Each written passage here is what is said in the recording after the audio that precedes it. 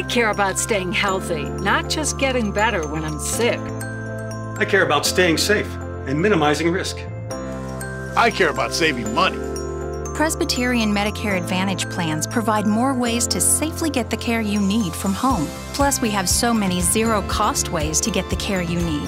That's why Presbyterian plans give better health a better chance. My Presbyterian Medicare Advantage plan takes care of me. Who's taking care of you?